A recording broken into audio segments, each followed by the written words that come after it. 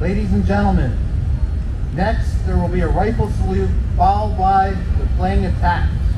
The 21 gun salute will be comprised of seven riflemen firing off three volleys.